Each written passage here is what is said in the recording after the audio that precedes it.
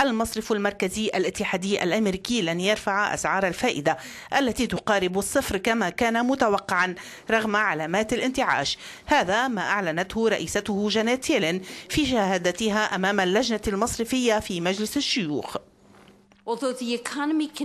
بالرغم من استمرار الاقتصاد في التحسن لكن الانتعاش لم يكتمل.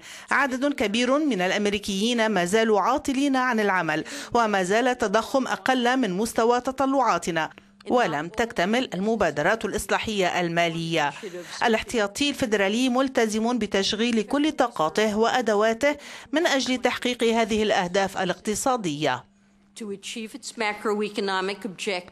في محاولة للدفاع عن سياسة الاحتياطي المركزي أظهرت هيلين الكثير من الحذر مشيرة إلى أنه من الممكن أن ترفع نسبة الفائدة منتصف العام المقبل. وفيما يتعلق بالبطالة التي انخفضت نسبتها ووصلت إلى 6% والتي لم تكن متوقعة قبل نهاية العام فتخوفت هيلين من أن تكون ناتجة عن انخفاض نسبة الباحثين عن العمل.